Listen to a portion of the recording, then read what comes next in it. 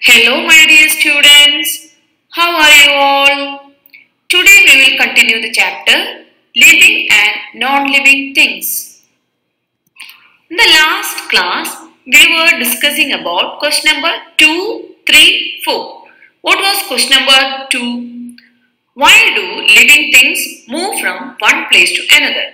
The answer was living things move in search of food, water, shelter and to escape from their enemies.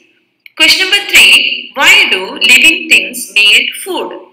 Living things need food to get energy to carry out their activities. Question number 4. What is a seedling? A seed grows into small plant called seedling. This seedling grows into a big plant.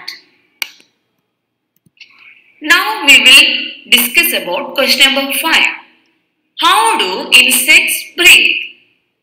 The answer is insects breathe through air holes called spiracles present on their body.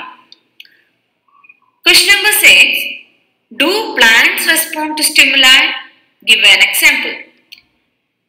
Yes, plants respond to stimuli. The leaves of touch me not plant close when touched.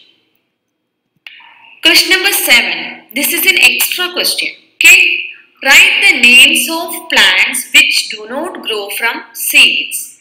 We already learned about the plants which will grow from seeds, right? Papaya, peas, lady's finger, all this will grow from the seeds. But there are some plants which will not grow from the seeds. It will grow from other parts of plant.